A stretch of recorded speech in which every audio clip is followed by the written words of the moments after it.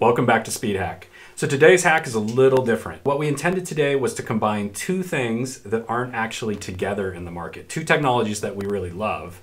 Uh, one being supercritical foam and the other being Zoom Air from Nike. So we want to combine these things and see if they work great together. And Kevin's going to come up and tell you the exact product that we selected.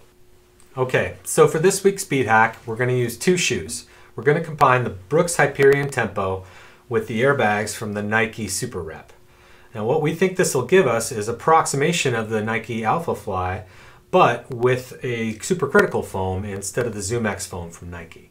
We love the supercritical foam in the Hyperion. It's very smooth running, it's just the right heights, and it's lightweight.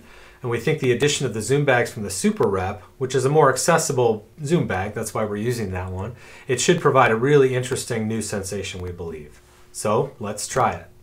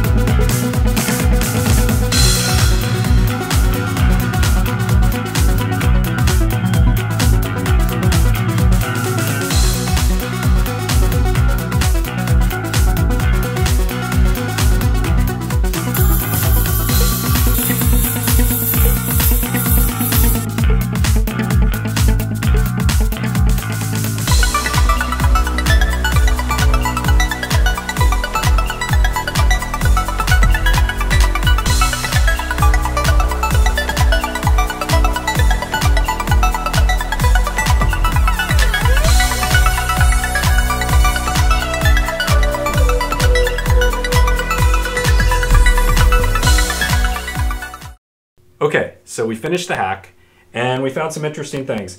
We had to go all the way down to the strobel here because of the thickness of this bag, um, which is great because it's going to put the zoom bag right on our foot. Uh, the negative on that is that you're going to feel the zoom bag quite a bit. So in order to counteract that, we added a piece of foam, but also a plate. Um, this is actually a plate from our old Saucony hack um, if you go back and look at that. Um, and this will help not only add a little bit of stiffness, but it'll also help, uh, most importantly, moderate the pressure of this zoom bag right against your foot. Now let's take the stock pair and the hack pair out for a run.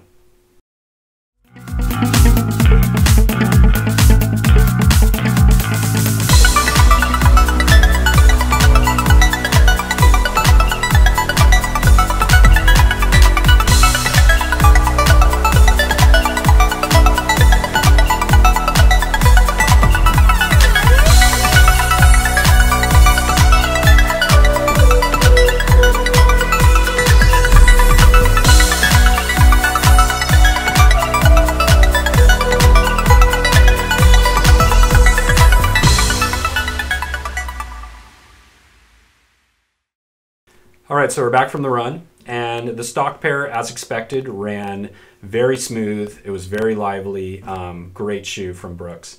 Uh, the hacked pair also was very interesting. Uh, you definitely felt the zoom bag much more. You felt the pop in the forefoot, which is what we intended. Um, hard to say whether it was statistically faster or not than the uh, stock pair. It was definitely less smooth, but in the positive way, you felt that pop under your foot, which was great. With the Zoom bag, the shoe was slightly heavier than the stock pair, but the energy return might make up for it. It's really hard to say. Hope you enjoyed this episode. Stay tuned for our next Speed Hack.